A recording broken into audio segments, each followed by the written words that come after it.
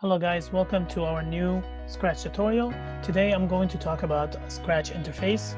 So I'm going to start from here in the top.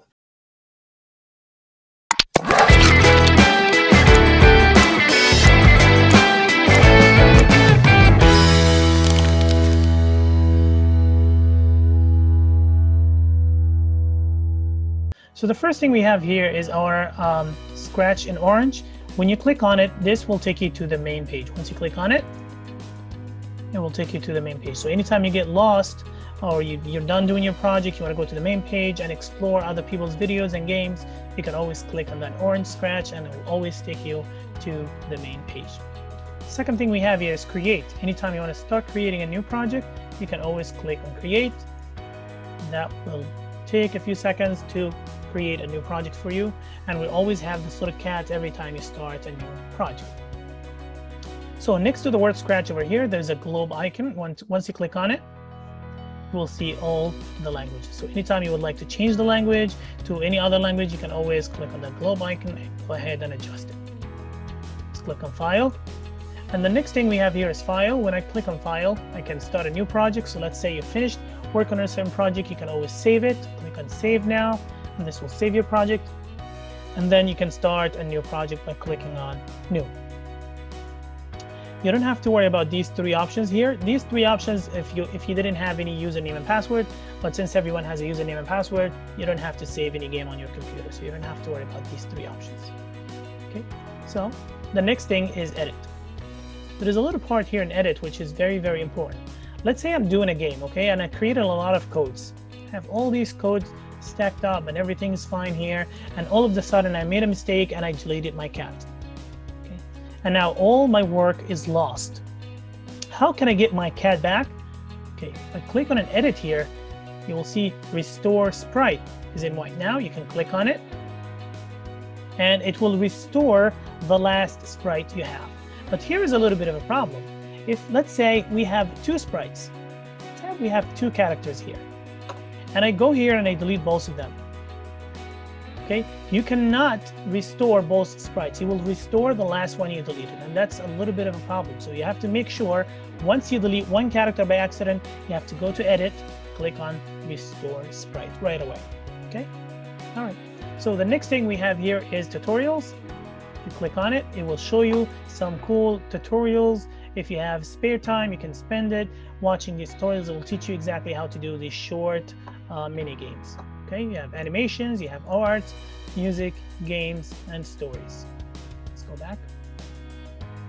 The next bar we have over here is to title your project. So let's say we're doing today a project called Angry Bird. I'm gonna go here and type Angry Bird. Okay, so here is to title you title your project. Moving on to the next thing is which is share. Let's say you finish working on a certain project you can always share it with other people. Other people will like it and uh, also remix it and share it. Okay. Okay. So we're going to move on to the next thing we have here, save now.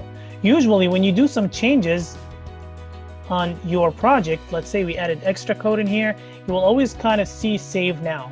So if you want, let's say you, you're in a rush and you want to go, you don't want to click on file and then save now. It's a lot of work for you.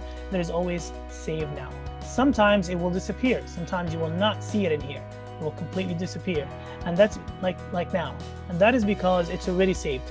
Scratch has this feature which allows, uh, allows it to uh, automatically save your project without even clicking on save. So don't worry if you all of a sudden your computer shut down, you still uh, your project is still saved because of this feature. Okay, don't worry about this for now. This is just a studio you have uh, all the stuff that you created, so don't worry about that for now. Okay. Okay, let's go back here. And over here, you see your name. Once you click on your name, you have these four options. First thing is a profile. Um, this we're going to talk about in another video because you have to upload a picture on your profile. You're going to talk about what are you doing uh, and you know what kind of project you're doing, what, we, what is the name of the project and all this. Okay, the one I want to talk about is my stuff. Once you click on my stuff, you will be taken to this page here. And here you have all the videos and games that you created. Okay, so once you click on my stuff, you will always be transferred to the page where you have all the videos and games uh, that you made. Okay, let's go down here and we have three options. Option number one is the full screen option. Once you click on it, it will take you to the full screen. So let's say you finished your game and you want to play the game, you want more space to play the game, you can always click on full screen and that will take you to the full screen. The next two options here are very, very good because they, they are helpful sometimes when you have a lot of codes going on here. You can always click on them and it will adjust the size of your stage. So let's say you want you are more concerned about the code, you don't have space here, you want to have a little more space, you can always click on this one and this will shrink the size of the um, stage. Click back and that will um, grow it. So let's go on to these two. Okay, we talked about this many times. These two buttons here, this is like your dad driving or your, or your mom driving the car. Okay, once your mom or your dad see the green sign, that means go. Same thing over here. When you click on it, your project start. Second one is the red circle, and this means stop. Every time you click on it, it will stop your project. Okay, we're done with this. Let's go down here.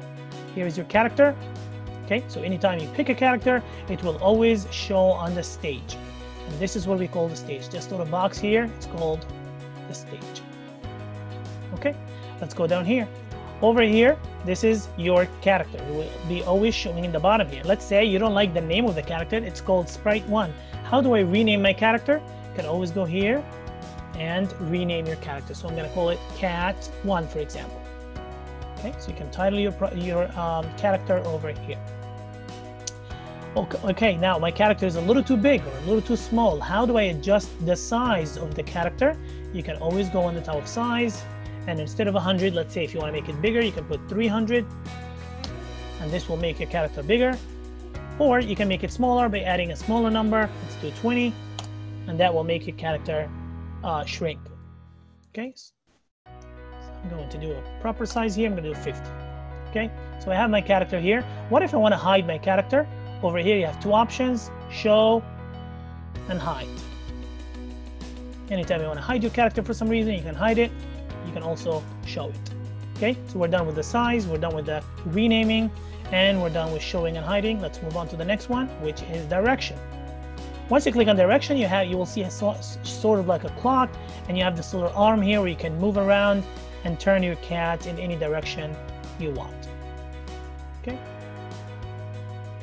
Now, the last two things we're going to talk about today are first thing is choosing a sprite. You can always go here and that uh, cat and click on it. And that will allow you to search for a specific character. Now, there are three ways to search on Scratch. Number one is you can scroll down and this is kind of the hardest way to search because you still have to be looking for the character. Okay, you can look at these categories here. You have multiple categories, animals, people. So this will kind of narrow your search when, you, when you're looking for something specific. Also, the easiest way to do this is you can search your character. So let's say I'm looking for uh, a ball. So I can just go here and type ball, and it will get you everything that has to do with a ball, even a player. Okay, so let's go back. So we're done picking a character. Let me go back and pick a character. So let's say I'm going to pick this one. Perfect. Now, how do I pick a background? The background I have here is white. How do I pick a background? Next to the characters, you have the backgrounds over here. You click on it. And this will allow you to pick any background you like. So I'm going to go here and click on that party, the balloon. All right, see you guys on the next video. Bye.